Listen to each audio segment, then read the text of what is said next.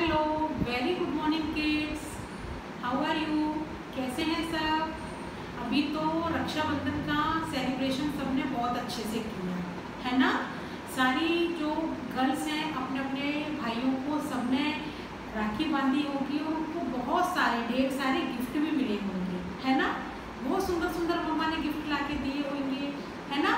और ढेर सारी मिठाइयाँ भी खाई हैं, सारे गर्ल्स ने और बॉयज़ ने भी है ना ये कितना अच्छा लगता है जब हम सेलिब्रेट रक्षाबंधन सारी लड़कियों को गिफ्ट मिलते हैं।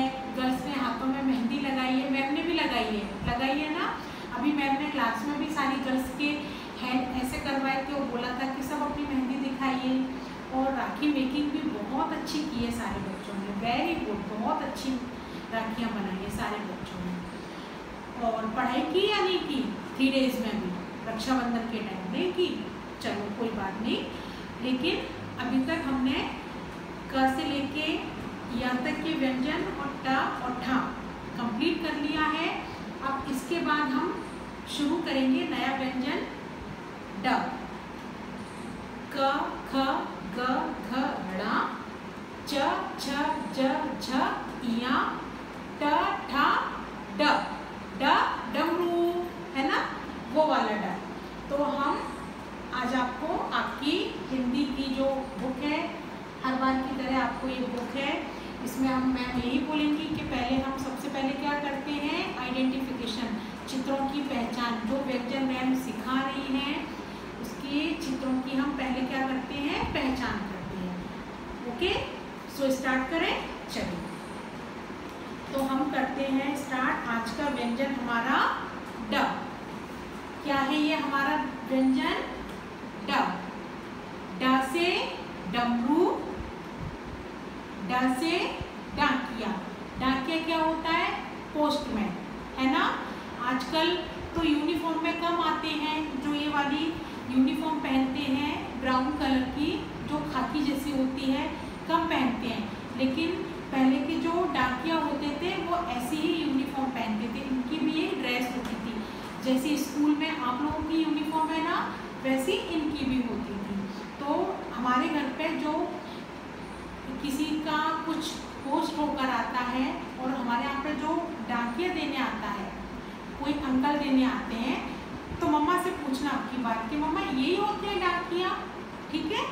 तो ड से डमरू, ड से डाकिया, ड से डंडा। डंडा, मैम बोलती है, डंडे से पटाई लगाऊँगी। बोलती है मैम, डा से डबल रोटी। डबल रोटी क्या होती है? ब्रेड। आजकल कोई भी बच्चा डबल रोटी नहीं बोलता। सारे जो भी बच्चे हैं या जो भी बड़े हैं, सब यू क्या बोलते हैं? ब्रेड। लेकिन ब्रेड को हम हिंदी में क्या बोलते हैं? डबल रोटी। और डलिया। डलिया मीन्स बास्केट है ना? तो हमारा ये क्या है? ड व्यंजन। कौन सा व्यंजन है? ड। कौन सा व्यंजन है? ड। ड से डमरू ड से डाकिया ड से डंडा ड से डबल रोटी ड से डलिया। तो हमारे पास एक, दो, तीन, चार, पाँच। कितने चित्र हो गए? पाँच। ड डमरू के कितने चित्र हो गए? हम डमरू भी इजीली बना सकते हैं, डंडा भी इजीली बना सकते हैं, डबल रोटी स्क्वायर शेप की होती है, और डलिया।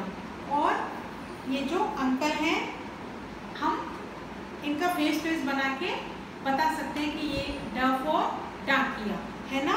ड से डाकिया तो चलिए हम डब्लू का चित्र बनाएँगे, डंडा बनाएँगे, डलिया बनाएँगे और डबल रोटी बनाएँगे, है ना? तो सबसे पहले हमको क्या पहचान करनी है? ये कौन सा व्यंजन है? ड। कौन सा व्यंजन है? ड। से डमरू से डाकिया ड से डंडा ड से डबल रोटी ड से डलिया। ओके? तो आज आपका क्या वर्क है? पहले तो सबसे पहले आपको अपनी मम्मी, पापा या घर में आपसे जो भी बड़े हैं, उनको क से लेके ठ तक के व्यंजन मौखिक सुनाने हैं।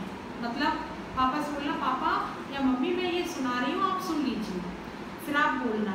उसके बाद आप डर बन व्यंजन जैसे क से कबूतर ख से खरगोश ग से गमला घ से घड़ी अड़ा खाली च से चम्मच छ से छाता ज से जहाज़ झ से झंडा इया खाली ट से टमाटर ठ से ठटेरा ड से डमरू। यहाँ तक आपको मौखिक सुनाना है। ठीक है? किसको सुनाना है? घर में भैया, दीदी, जो भी आपसे बड़े हैं उनको आपको ये सुनाना है। इसके बाद कल की क्लास में हम क्या शुरू करेंगे? इनके हम कुछ चित्र बनाएँगे और चित्र से इनको मिलाएँगे कि हमने यदि डमरू बना दिया, डलिया बना दिया तो इन चित्रों का एक ही व्यंजन है। क्या है? ड है ना? तो आज आपको सिर्फ़ पेज नंबर 15 है ये।